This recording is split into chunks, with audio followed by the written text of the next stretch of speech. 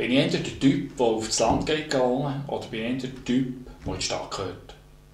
Herzlich willkommen und Grüße miteinander zum zweiten Newsletter von der Villa Gaza in Spiez. Wir wollen miteinander heute auseinandernehmen Stadt, Land, Vor- und Nachteile. Wenn ich die Vorteile nehme, wenn ich in der Stadt wohne, ist ganz klar der, die Einkaufsmöglichkeit. Die Einkaufsmöglichkeit, die unter Umständen die nächste Nähe ist, oder vielleicht mit dem Bus eine Station muss fahren oder mit dem Velo problemlos erreichbar ist. Der zweite Vorteil, den natürlich auch die Stadt hat, ist der, man hat Schulen. Von Unterstufe, Kindergarten, Oberstufe ist alles vorhanden. Und der dritte Vorteil, das sind die öffentlichen Verkehrsmittel.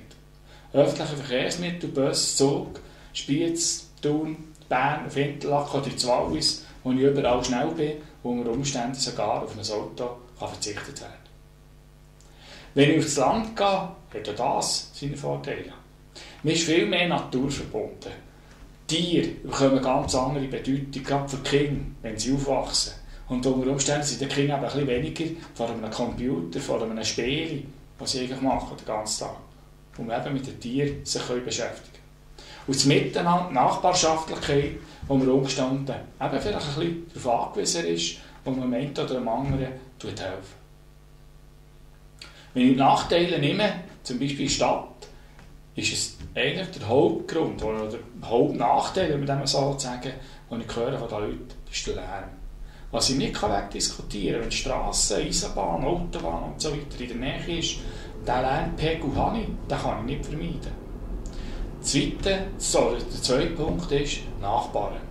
Man hat in der Stadt in der Regel viel die kleineren Parzellen, man wohnt viel näher aufeinander oben und äh, es braucht doch manchmal den einen oder anderen, der halt eine gewisse Toleranz angebracht ist. Die Schule, die Schule, die unter Umständen sehr viele Schüler hat, viel grösser ist, und ein Kind, das vielleicht auf dem Land Wöhler wäre und das auf dem Land vielleicht in der Stadt Wöhler wäre, weil sich eben durchsetzen kann, das andere weniger, und das muss man vielleicht prüfen und berücksichtigen.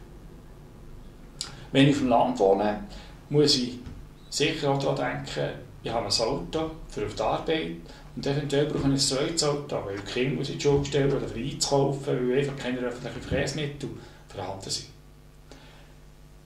Die Schulwege, die unter Umständen mit dem Velo müssen gemacht werden oder vielleicht jetzt weiter oder weiter in einem nächsten Dorf, der erste nächste Bus und man muss vielleicht zwei, drei Ortschaften fahren, bis man dann eben die Oberstufe oder die SEC äh, unter Umständen kann besuchen kann.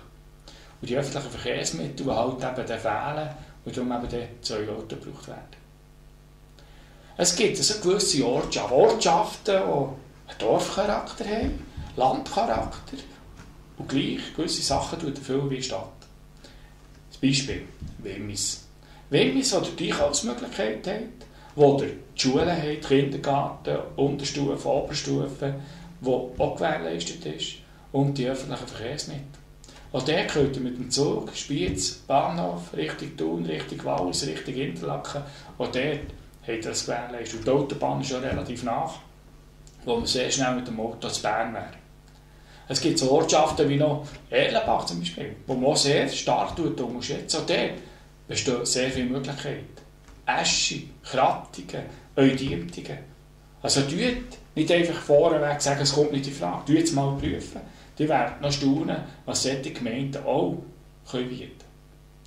Was wir natürlich bieten hier bei der Villa Gaza ist, ihr könnt zu uns ins Büro kommen, wir machen Persönlichkeitsanalyse. Persönlichkeitsanalyse heisst, wir schauen miteinander, schauen, seid ihr eher naturverbunden oder seid ihr eher der stadtorientierte Mensch. Dass ihr auch dort eine gewisse Basis habt, für euch zu entscheiden. Übrigens werden wir im Januar hier über Finanzierung den nächsten Newsletter machen. Wir werden eine Spitzbank einladen, wo wir ein Interview, ein Interview machen können, und zwar über Tragbarkeit, Eigenmittel und Risiken. Auf das Interview freue ich mich unheimlich, dass auch ihr gehört, auf was müsst ihr schauen, die Abklärungen machen, bevor ihr vielleicht etwas suchen um zu kaufen, damit ihr genau seht, wo das steht. Ich wünsche euch für die kommende Zeit, Weihnachten und für das neue Jahr alles Gute und dass ihr eure Ziele im neuen Jahr könnt erreichen. Ich bin überzeugt, ihr habt das sicher auch schon alles aufgeschrieben und vor allem sehr viel Gesundheit. Wieder schauen miteinander.